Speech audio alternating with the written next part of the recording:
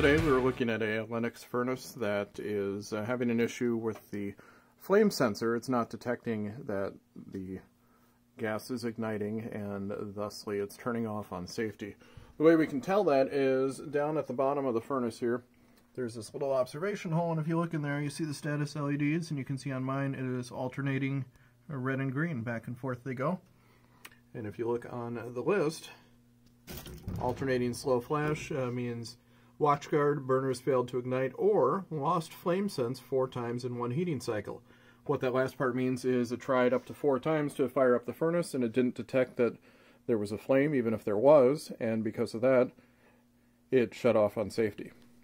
To resolve that, we need to open up the furnace and take out and clean the flame sensor and then put it back. So start by uh, turning off the power to the furnace. You could shut off the breaker, or if you have a switch at the furnace, that'll do it too. Then we can open up the door.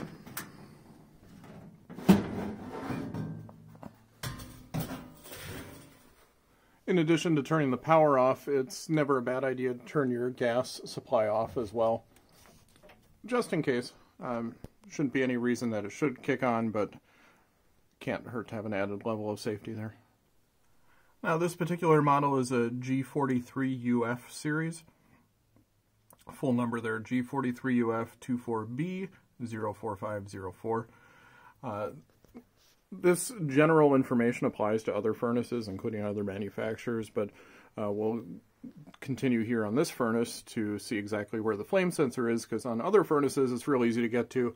On this one it's a little bit of a pain to get to, but we'll get to it, we'll clean it off, and uh, we'll get her back up and running. Alright, so on this model furnace, the uh, flame sensor is kind of hiding way back there, you see that white wire that kind of disappears up into the nether regions of the furnace with the connector on the end. That is where the flame sensor is way up there. So we're going to have to disassemble a couple things to be able to reach up there. Using a quarter inch socket, we've removed the uh, four screws that hold on this plate. Now this is not entirely necessary to remove, but uh, at the same time it'll help us see better as to what we're going for. Also removed uh, the one screw underneath here in the center That'll allow us to pull this plate out. And again, this is just going to give us a better visual on the inside of the combustion chamber. And you can see in the back left corner with the white sheath, that is the flame sensor directly in front of one of the burners here, and that's what we need to get to. And you can actually see the head of the screw sticking up that is holding it in place. So what we do need to do still is get underneath here to undo that screw and then pull out the uh, flame sensor that's attached to the white wire.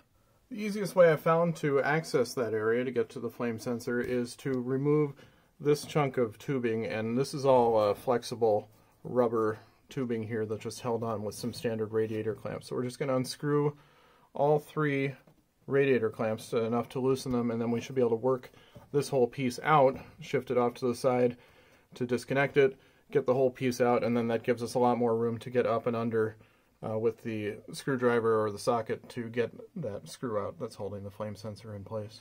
All right, well, with some words of encouragement, we were able to get the uh, rubber piece out.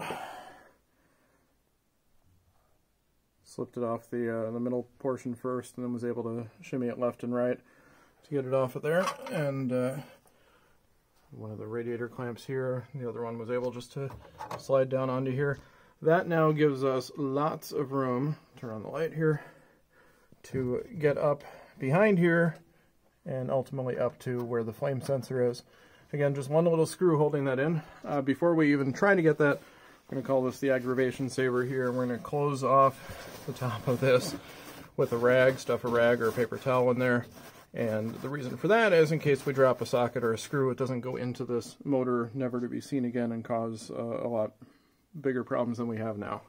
So close that off with a rag, and next thing is we're going to use a flexible socket extension to get up there and unscrew the screw that's holding in our flame sensor. And pardon the uh, one-handed, left-handed camera work here, but you can see we've got the flexible socket extension up into place. It's a quarter inch socket on the end of that, and that's going to be unscrewing our screw that's holding in the flame sensor. So it's going to be a two-handed operation here, but we'll be able to unscrew that and loosen the flame sensor.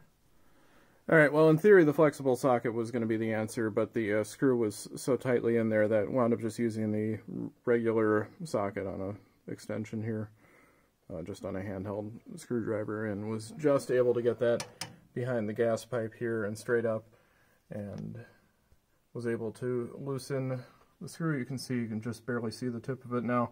I'm going to do the rest of it by hand and then the flame sensor will slide right out with it. Alright, success. We got the uh, rest of the screw out by hand and uh, literally just going to pull down on the bottom of the flame sensor from underneath here by hand and pull it out of there. And uh, we'll just follow the wire back a little bit to work it out here to get it to actually clean it.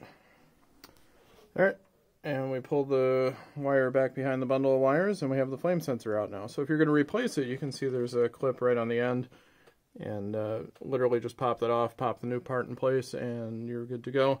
Um, in this case, we can actually clean this, and uh, I've actually did clean this a few years ago, and it worked for probably a good three or four years, but it's time to clean it again. If we look closely, try and get the focus here, you can see that there's uh, some burn marks on here and a lot of soot and whatnot. Um, we're just going to use steel wool. Uh, steel wool is recommended or you could also use a very fine grit sandpaper. You don't want to go to town on this. Uh, you don't want to damage the flame sensor. You just want to kind of clean off the gunk that's accumulated on there. So we'll use some steel wool uh, gently on it, taking the steel wool to it. And there are other videos you could watch too about cleaning this. Uh, the focus of this video really more is on how to access it on this particular furnace since it's kind of a bear to get to. But you can see we've uh, cleaned off the, the bulk of the uh, dirt and whatnot. Um, you can wipe it down with a paper towel then afterwards too, just to get any dust off of there.